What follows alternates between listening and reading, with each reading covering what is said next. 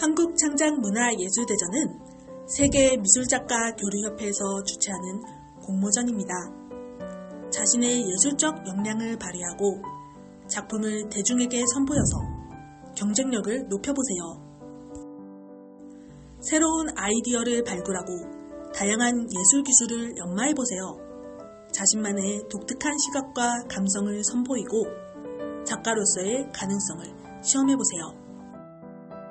2023년 3월 6일에서 4월 7일까지 웹하드에 신청서와 작품 이미지를 올려주세요.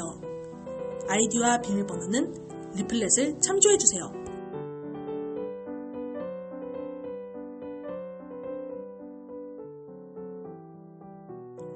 수상작은 온 오프라인 플랫폼에 2회 등재됩니다. 또한 대상 작가는 세미 갤러리에서 개인전을 1회 가질 수 있습니다.